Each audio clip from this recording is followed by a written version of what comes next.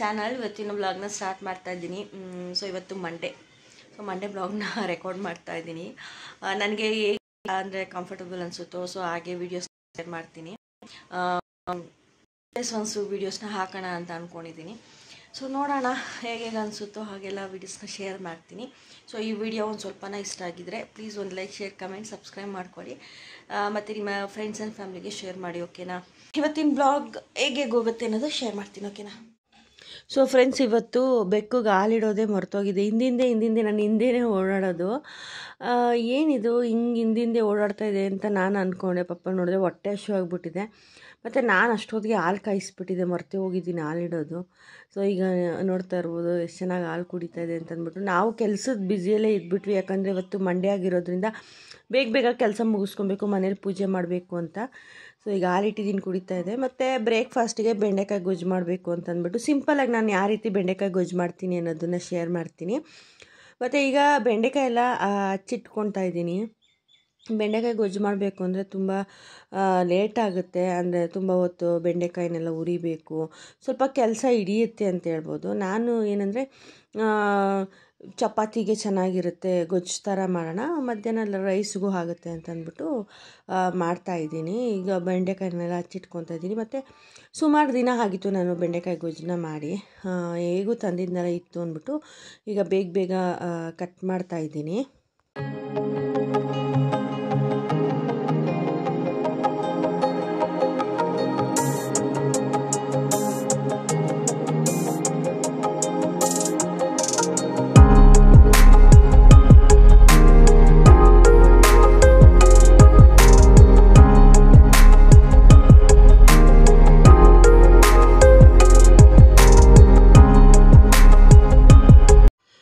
Friends ಈಗ ಚಪಾತಿ ಸುಡ್ತಾ ಇದ್ದೀನಿ. ಒಂದು ಕಡೆ ಬೆಂಡೆಕಾಯಿನೆಲ್ಲ ಹುರಿದಿಟ್ಕೊಂಡಿದ್ದೀನಿ. ಬೆಂಡೆಕಾಯಿ ಫಿಫ್ಟೀನ್ ಟು ಟ್ವೆಂಟಿ ಮಿನಿಟ್ಸ್ ಹುರಿಬೇಕಾಗುತ್ತೆ. ಯಾಕಂದರೆ ಅದರಲ್ಲಿರೋವಂಥ ಲೋಳೆ ಎಲ್ಲ ಹೋಗಬೇಕು. ಹುರಿದಷ್ಟು ತುಂಬ ಟೇಸ್ಟಿಯಾಗಿ ತುಂಬ ಚೆನ್ನಾಗಿರುತ್ತೆ ಬೆಂಡೆಕಾಯಿ ಅಂತ ಹೇಳ್ಬೋದು. ನೆಕ್ಸ್ಟು ನಾನು ಚಪಾತಿ ಚಪಾತಿ ಹಸಿಟ್ಟು ನಾನು ಬಂದುಬಿಟ್ಟು ಉಗುರು ಬೆಚ್ಚಗಿರುವಂಥ ನೀರಲ್ಲಿ ಕಲಸಿ ಇಡ್ತೀನಿ. ಒಂದು ಟೆನ್ ಮಿನಿಟ್ಸು ಹಾಗೆ ಇಟ್ಬಿಡ್ತೀನಿ ಕಲಸಿ. ಅವಾಗ ತುಂಬ ಸಾಫ್ಟಾಗಿ ತುಂಬ ಚೆನ್ನಾಗಿ ಚಪಾತಿ ಬರುತ್ತೆ ಅಂತ ಅಂದ್ಬಿಟ್ಟು. ಏನಂದರೆ ಚಪಾತಿಗೆಲ್ಲ ಬೆಂಡೆಕಾಯಿ ಗೊಜ್ಜು ಕಾಂಬಿನೇಷನು ತುಂಬ ಚೆನ್ನಾಗಿರುತ್ತೆ ಅಂತ ಅಂದ್ಬಿಟ್ಟು ನಾನು ಇವತ್ತು ಬ್ರೇಕ್ಫಾಸ್ಟ್ಗೆ ಇದೆರಡು ಮಾಡೋಣ ಅಂತ ಅಂದ್ಬಿಟ್ಟು ಮಾಡಿದೆ. ಸೊ, ಈಗ ಬೆಂಡೆಕಾಯಿನ ನಾನು ಯಾವ ರೀತಿ ಬೆಂಡೆಕಾಯಿ ಗೊಜ್ಜು ಮಾಡ್ತೀನಿ ಅನ್ನೋದನ್ನು ಶೇರ್ ಮಾಡ್ತೀನಿ. ಸೊ, ನಾನೀಗ ಒಂದು ಬಾಣಲಿ ಇಟ್ಕೊಂಡಿದ್ದೀನಿ. ಬಾಣಲಿಗೆ ಎಣ್ಣೆ ಮತ್ತು ಕಡಲೆಬೇಳೆ ಹಾಕ್ಕೊತೀನಿ, ಸಾಸಿವೆ ಹಾಕ್ಕೊತೀನಿ, ಕರ್ಬೇವಿನ ಸೊಪ್ಪು ಮತ್ತು ಇಷ್ಟು ಹಾಕ್ಕೊಂಡು ಫಸ್ಟು ಫ್ರೈ ಮಾಡ್ಕೊತೀನಿ.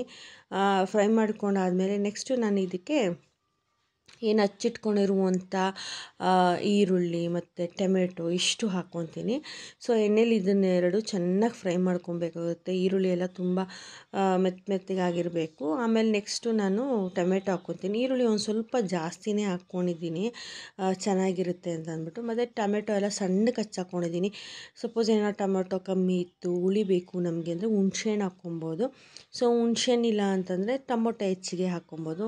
ನಮ್ಗೆ ಯಾವ್ದು ಇಷ್ಟ ಆಗುತ್ತೋ ಆ ಥರ ಹಾಕ್ಕೊಬೋದು.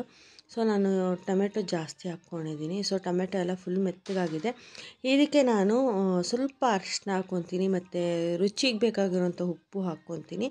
ಸೊ ಈಗ ಹುರಿದಿಟ್ಕೊಂಡಿರುವಂಥ ಬೆಂಡೆಕಾಯಿನ ಹಾಕ್ಕೊಂಡು ಒಂದು ಫೈವ್ ಮಿನಿಟ್ಸ್ ಎಣ್ಣೆಲಿ ಚೆನ್ನಾಗಿ ಫ್ರೈ ಮಾಡ್ಕೊತೀನಿ.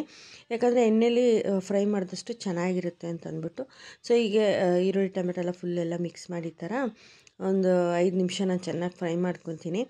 ಸೊ ಆಲ್ರೆಡಿ ಉಪ್ಪೆಲ್ಲ ಹಾಕಿರೋದ್ರಿಂದ ನಾನು ಇದಕ್ಕೆ ಏನು ಸಾಂಬಾರು ಪುಡಿ ಅಂತೀವಲ್ಲ ನಾವು? ಆ ಸಾಂಬಾರು ಪುಡಿನ ಹಾಕ್ಕೊತೀನಿ ಇದಕ್ಕೆ ಇಲ್ಲ, ಸಾಂಬಾರು ಪುಡಿ ಇಲ್ಲ, ಖಾರಕ್ಕೆ ಏನು ಮಾಡೋದು ಅಂದರೆ, ನೀವು ಬೇಕಂದರೆ ಚಿಲ್ಲಿ ಪೌಡರು ಸಹ ಹಾಕ್ಕೊಬೋದು. ಚೆನ್ನಾಗಿರುತ್ತೆ ಟೇಸ್ಟು. ಯಾವ್ದು ಹಾಕಿದ್ರೂ ಟೇಸ್ಟ್ ಚೆನ್ನಾಗಿರುತ್ತೆ.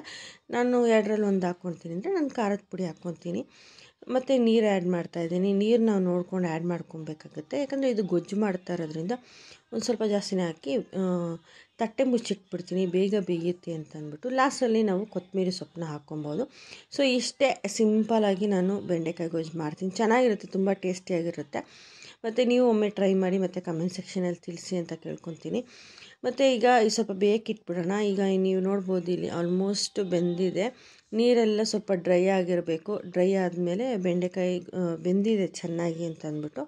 ಸೊ ಈಗ ಬೆಂಡೆಕಾಯಿ ಗೊಜ್ಜೆಲ್ಲ ರೆಡಿ ಆಗಿದೆ. ಸೊ ಇಷ್ಟೇ ಬೆಳಗ್ಗೆ ನಾವೇನ ಬೇಗ ಮಾಡ್ಕೊಬೇಕು ಅಂತಂದಾಗ ನೈಟೇ ಕಟ್ ಮಾಡಿ ಒಂದು ಬಾಕ್ಸ್ಗೆ ಎತ್ತಿಟ್ಬಿಟ್ಟು ಬೆಳಗ್ಗೆಗೆ ಮಾಡ್ಕೊಬೋದು. ಸೊ ಸೋಮವಾರ ಪೂಜೆ ಈ ರೀತಿ ಮಾಡಿದೆ. ಮಲ್ಲಿಗೆ ಹೂವು ಮತ್ತು ಡೇರೆ ಹೂವು ಎಲ್ಲ ನಮ್ಮ ಗಿಡದಲ್ಲೇ ಬೆಳ್ ಬಂದಿತ್ತು. ಸೊ ಅದನ್ನೆಲ್ಲ ಕಿತ್ಕೊಂಬಂದು ಇಟ್ಟಿದ್ದೆ. ಸೊ ಸೋಮವಾರ ಪೂಜೆ ಎಲ್ಲ ಈ ರೀತಿ ಆಯಿತು. ಸಿಕ್ಕಾಪಟ್ಟೆ ಬಿಸಿಲು ಸಿಕ್ಕಾಪಟ್ಟೆ ಬಿಸಿಲು. ಆಚೆ ಎಲ್ಲೂ ಹೋಗೋಕ್ಕಾಗಲ್ಲ.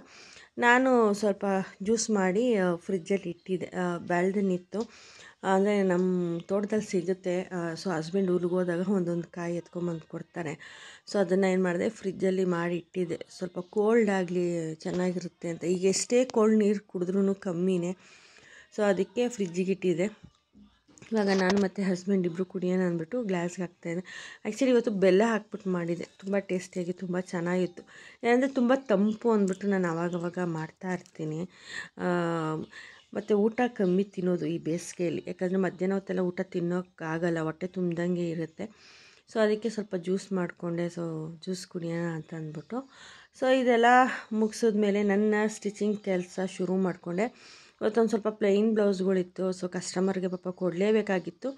ಸೊ ಇನ್ನೊಂದು ಎರಡು ಇದೆ ಮುಗಿಸ್ಕೊಂಬಿಡೋಣ. ಹಾಸ್ಗಳು ಮನೆಗೆ ಹೋಗೋ ಅಷ್ಟೊತ್ತಿಗೆ ಅಂದ್ಬಿಟ್ಟು ಎಲ್ಲ ಎತ್ತಿಟ್ಕೊತಾ ಇದ್ದೀನಿ. ಸೊ ಈಗ time almost six o'clock ಆಗಿದೆ. ಹಸ್ಗಳ ಮನೆಗೆ ಹೋಗೋಣ ಅಂದ್ಬಿಟ್ಟು ಹೋಗ್ತಾ ಇದ್ದೀನಿ. ಹಸ್ಬೆಂಡು ಸಹ ಹಾಲು ಹಾಕ್ಬಿಟ್ಟು ಬಂದರು. ಸೊ ಈಗ ಸೊ ಈಗ ಹಸ್ಗಳ ಮನೆಗೆ ಹೋಗ್ತಾ ಇದ್ದೀನಿ. Time almost six o'clock ಆಗಿದೆ. ಸೊಳ್ಳೆ ಬತ್ತಿ ಎಣಿಸ್ಬಿಟ್ಟು ಬರೋಣ ಅಂತ ನಮ್ಮ ಹಸುಗಳೆಲ್ಲ ಉಳ್ಮೆ ಇರ್ಬೋದು ಏನು ಈ ಹಸು? ಏನು ಒನ್ ಮಂತ್ ಕರು ಹಾಕುತ್ತೆ. ಸೊ ಖುಷಿ. ನಮ್ಮ ಮನೆಗೆ ಒಬ್ಬರು ಹೊಸ ಮೆಂಬರ್ ಬರ್ತಾರೆ ಅಂತ. ಸೊ ಸೊ ಇಲ್ಲಿ ನೀವು ನೋಡ್ಬೋದು. ನಿಮ್ಮ ಕರುಗಳು ಏನು ಮಾಡ್ತಾ ಇದೆ ಅಂತ. ಎಷ್ಟು ದೊಡ್ಡದಾಗಿದೆ ಅಂತ. ಏನಮ್ಮ?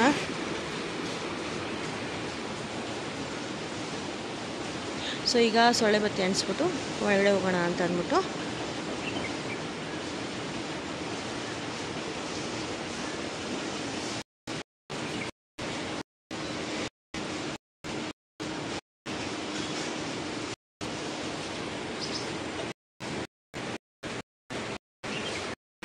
ಗೌರಿ ಗೌರಿ ಕರೆಂಟ್ ಹೋಯ್ತು